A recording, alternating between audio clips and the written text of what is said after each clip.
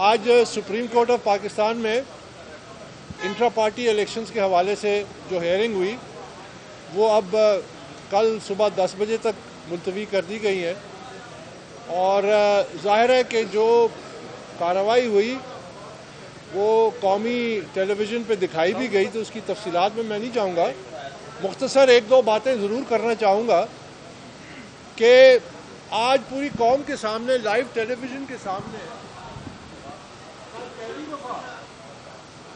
पाकिस्तान तहरीक इंसाफ के जो वकील थे हामिद खान साहब उन्होंने सुप्रीम कोर्ट के सामने ये तस्लीम किया कि अकबर अस बाबर बानी रुकन है पाकिस्तान तहरीक इंसाफ जो पाकिस्तान तहरीक इंसाफ के वर्कर्स हैं वो बाख्तियार हो वो अपनी क्यादत का इंतखब करें वो अपनी क्यादत से जिस पॉलिसी को चाहते हैं उस तरफ़ उसको लेके जाएँ और वो लीडरशिप जो हो वो पाकिस्तान तहरीक इंसाफ के वर्कर्स की ताबे हो।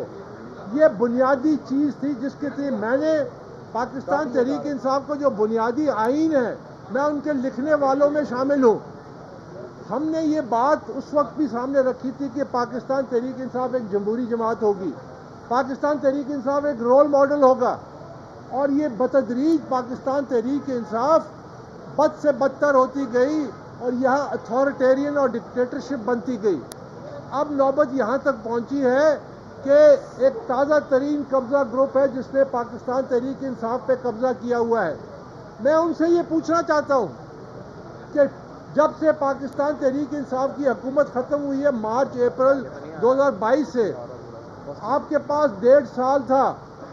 आपने पाकिस्तान तहरीक इंसाफ के अंदर शफाफ इंट्रा पार्टी इलेक्शन क्यों नहीं कराए? आपने वर्करों को उनके बुनियादी आईनी हकूक से क्यों महरूम किया? और जब इलेक्शन कमीशन ने आपको दोबारा मौका दिया तेईस नवंबर को कि आप 20 दिनों में ट्रांसपेरेंट इंट्रा पार्टी इलेक्शन कराएँ, आपने इतना बड़ा नाटक क्यों रचाया? आपने लोगों के आँखों में खाक क्यों धोली कि आपने ये एक ऐसी जगह इलेक्शन कराई जिसकी लोकेशन तक खुफिया रखी गई, जिसमें हम फाउंडिंग मेंबर मैं खुद पाकिस्तान तहरीक इंसाफ के मरकजी दफ्तर गया यकम दिसंबर को। और मैंने उनसे कहा, मुझे कागजात नामजदगी दिए जाएँ। मैंने उनसे कहा, मुझे इलेक्शन के कवायद और जवाब दिए जाएँ। मैंने उनसे कहा कि ये वोटर लिस्ट जो है, ये तीन चीज़ें हमें मुहैया की जाए। हम इस इलेक्शन में भरपूर हिस्सा लेना चाहते हैं।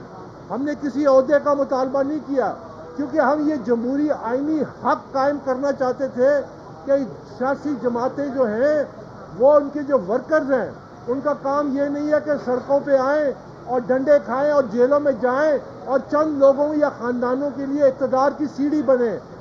ये है वो बुनियादी जंग जो हम लड़ रहे हैं। हमने 2014 में मैंने फॉरेन फंडिंग केस किया। आज भी उस हवाले से सवाल उठा। मैं अल्लाह के करम से 2 अगस्त 2022 को शुरू हुआ। मेरे तमाम इल्ज़ाम साबित हुए और उस पर अभी कार्रवाई होना बाकी है। आज भी अल्लाह ने हमें सुखरू किया। इस हवाले से कि जो मेरे खिलाफ प्रोपागेंडा किया जाता था, वो उनके अपने मुँह से, उनके अपने मुँह से आपने सुन लिया कि उसकी नफी हो गई। तो ये जो जंग है, ये पाकिस्तान तहरीक इंसाफ को एक इदारा बनाने के लिए लोग कहते हैं कि जी, इससे पाकिस्तान तहरीक इंसाफ को नुकसान होने का खतरा है। इसमें कोई शक नहीं है, लेकिन इसको खतरा और इसको जो मुश्किलात हैं, इसका जिम्मेदार मैं नहीं हूँ। इसका जिम्मेदार वो कब्जा ग्रुप है जो पाकिस्तान तहरीक इंसाफ के वोट बैंक पे कब्जा करके असेंबलियों में आके जिस तरह पिछड़ा कब्जा ग्रुप था, उसी रिवायत को ताज़ा रखने चाहते हैं। हम ये बादशाह की सियासत और ये जो कब्जा है, इसको ख़त्म करना चाहते हैं। ये ऐसे ही है कि जो इकदाम हमने उठाए और सुप्रीम कोर्ट के सामने भी हम मौजूद थे आज, ये ऐसे ही है कि जब एक मर्ज, एक कैंसर जिसम में फैल जाए तो उसकी सर्जरी करनी पड़ती है। अगर ये सर्जरी कामयाब हो गई तो इन ये मरीज़ जो पाकिस्तान तहरीक इंसाफ इस वक्त बन चुका है ये तवोताना हो जाएगा। इसमें ताकत आ जाएगी और ये इस मुल्क के लिए और इस मुल्क की सियासत के लिए अपना वो किरदार अदा करेगा जिसके लिए हमने इसको बनाया था। बहुत बहुत शुक्रिया इलेक्शन कहाँ से लड़ रहे हैं? कौन से इलेक्शन कहाँ से लड़ रहे हैं आप?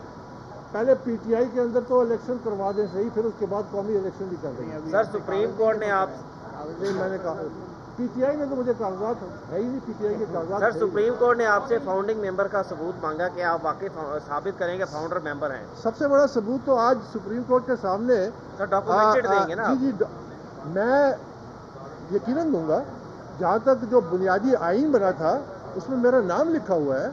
उसमें हामिद खान उस कमेटी के हेड थे। उसमें मेरा नाम है, वो जो पहला आइन पाकिस्तान तहरीक इंसाफ को बना, उसके अलावा जो शायद है वो भी देंगे।